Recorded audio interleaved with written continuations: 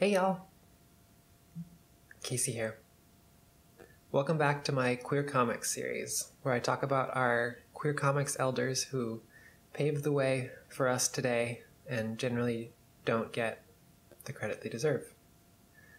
Today I'll be talking about the Finno Swedish icon Tove Jansson.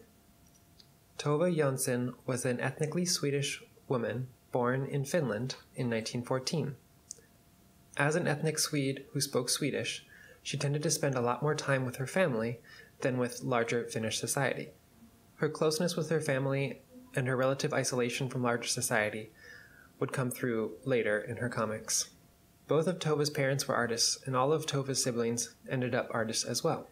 Tove's parents wanted her to focus on her fine art, but the thing that brought her the most joy was her comics. She illustrated her first book when she was only 14, and it was called Pelle och Nackens Blackfiskar. Starting in the 1930s, she was commissioned to provide illustrations and comics for the satirical, anti fascist newspaper Garm, which was critical of both Hitler and Stalin. She continued working with Garm during World War II, despite the fact that Finland was politically allied with the Nazis and was being, was being invaded by both the Nazis and the Soviets. Despite her parents' urgings to stick with fine art, Tove followed her heart and published her first Moomin book in 1945. The first book was called Moomins and the Great Flood. This first book wasn't the financial success that Jansson had hoped for, but nonetheless, she kept at it. After World War II, Tove started making the Moomintroll comic strip for the Evening News, which was a highly popular British newspaper.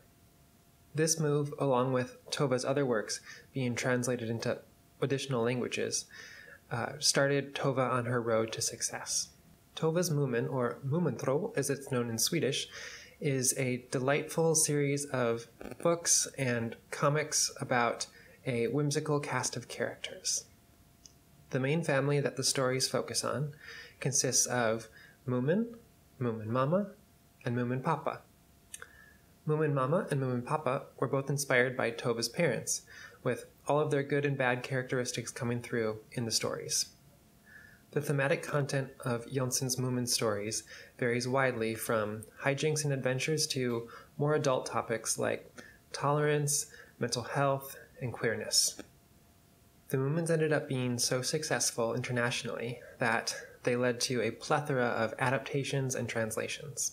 Some of the film and TV adaptations of Tove's works include a West German marionette TV show, several anime, several Swedish live action TV shows, a Soviet cutout animation serial film, a Soviet stop motion serial film, an Austrian German Polish stop motion TV series, a Swedish animated film, an Armenian animated film, a French animated film, a Dutch, Finnish, Japanese anime, and a British Finnish cartoon show. Oh, hello, Waffles. There have also been Moomin stage plays, musicals, operas, and ballets, some of which Tove worked on in some capacity, whether that was writing, uh, designing costumes, or writing songs. In addition to the songs that Jansson wrote, some of the other Moomin inspired musical offerings include a Moomin themed album by symphonic metal musician Lex Plotnikov, and a original song by Bjork about the Moomins. And to me, once you've had a song written about you by Bjork, that's basically like being admitted into the Nordic Hall of Fame. Jansson's Moomin empire grew so large, in fact, that Walt Disney actually offered to buy the rights to the Moomins, but Tove declined. Speaking of Disney, Tove's Moomins have gone on to expire a plethora of theme parks, interactive art exhibits, and so much more. Finland has two Moomin theme parks, one of which is called the Moomin Ice Cave, which I definitely want to go to. Finland also has a museum dedicated to Jansson, which is called the Moomin Valley at the Tampere Art Museum. The museum has a complete full scale Moomin house that was built by Tove. Outside of Finland, there's a Moomin themed uh, amusement park in Japan, as well as um, Moomin shops all around the world, and Moomin cafes in Finland, Japan, Hong Kong, Thailand, South Korea, and Taiwan. Finnair even had an airplane that was decorated with the Moomins that flew from Finland to Japan. So much can be said about each Moomin work, book, adaptation, etc., but I wanted to make sure to include this one tidbit about Tove's experience with getting her first anime in 1969. Jansson was thrilled when she was approached uh, and offered the possibility of having a show produced for the Japanese audience. Unfortunately, though, her source material was not treated with um, the same faithfulness that she would have hoped, so she ended up not being really all that happy with the end product. Tove took issue with the way the anime portrayed her characters, and under the deal she struck with the Japanese studio, she didn't have final say about how the final product will look. So she ended up not being all that thrilled with the final result. She experienced what Hayao Miyazaki would experience several years later when he brought his first film to be uh, translated for the American market. Um, that film was Nausicaa. Uh, this is rather ironic, though, because Miyazaki himself actually was one of the people who worked on Tove's first anime.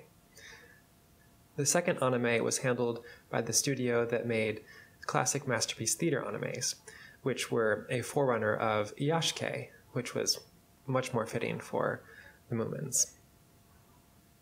Tove was troubled by the political and social uncertainty and chaos that came from living in a country that was caught between empires. During World War II, they, Finland was caught between the Nazis and the Soviets. And then during the Cold War, they were caught between the West and the Soviets.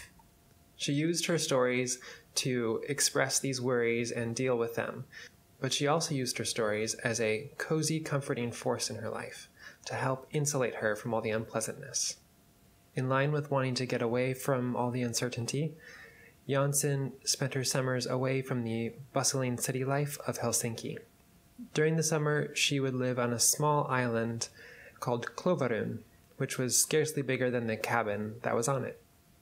Much like the other things in Tove's life, Klovaren also found its way into Jansson's stories, uh, serving as inspiration for some of the settings for the adventures that the Moomins would go on. Klovaren was also a safe haven for Jansson where she could live authentically with her partner, Tuulikki Pietilä, a Finnish woman. During most of the time that Jansson and Pietilä were together, same sex activity was illegal in Finland, only being legalized there in 1971. Klovaren's isolated location allowed Pietilä and Jansson to be away from the fear of any prying eyes or the law or Tove's father, who was not supportive of their relationship. Tove's queerness gets explored in her stories in a bunch of different ways, but two of the particularly good examples include the characters Thingumy, Bob, and Tyykki, as well as the story Who Will Comfort Toffle. Before Jansson was with Tuulikki, she was in a relationship with a woman named Vivica. Their secret relationship was portrayed in the Moomin books via the characters Thingumy and Bob. Two characters who come to Moomin Valley with a secret gem that they protect with their life. The Swedish names for these characters are Tofslan and Vivslan, which are pet names for Tove and Vivica. Thingumy and Bob are very careful who they show their gem to for fear of others taking it away. In case it's not obvious enough, the gem represents the secret love between Tofslan and Vivslan. Tofslan and Vivslan would eventually get the courage to show their gem to all the inhabitants of Moomin Valley. Thingumy and Bob got the acceptance and celebration that Jansson never got. Tyykki was later introduced as a stand in for Tuulikki Pietilä. She was pragmatic, supportive, and comforting, both in the stories as well as in real life when Tove was struggling with her mental health. Tove wove issues of mental health into her stories long before it was an accepted topic. One of the clearest examples of this was the story called The Fillyjonk Who Believed in Disasters, which is an allegory for depression. Who Will Comfort Toffle was intended to be an explicitly queer story about two young women who fall in love together. Unfortunately, Tove was forced to change one of the women to, into a, a man because of the censorship laws at the time. Tove's work is internationally famous in countries all over the world, but not so in the US. Distribution rights seem to be at fault for this to some degree. When I look in comic book stores in the States, I generally don't see Tove's work. I was actually in Powell's today, uh, a large local bookstore here in Portland, and they had a couple of her books, but not the ones I was looking for, and it was really a, a small fraction of her entire catalog. Thanks to the internet, Jansson's works have become more accessible, but the Moomins still need that extra push to actually catch on in America. A current example of how distribution rights continue to trouble uh, Jansson and her legacy uh, is the movie Tove, which came out uh, this past year, 2020, but it's not available in the United States. I watched the English language language trailer though for it, and it looks wonderful. I can't wait for it to come over here. Tove Jansson is one of the most famous Finnish people and certainly one of the most famous Finnish artists. She was a wildly independent woman, living life on her own terms, finding joy and whimsy when things were dismal. For all of these reasons, I look up to Tove a great deal. As long as this video is, there is so much more that can be said about this incredible woman. This video is meant to highlight Tove Jansson's works, uh, specifically as they relate to queer comics history. For a more lengthy series of videos um, that are exceptionally well researched, I encourage you to watch the videos made by Henry Kathman about Tove. I'll make sure to include uh, the links to those videos in the description. Anyways, thanks for watching. If you got something out of this video, please click those like and subscribe buttons. Until next time.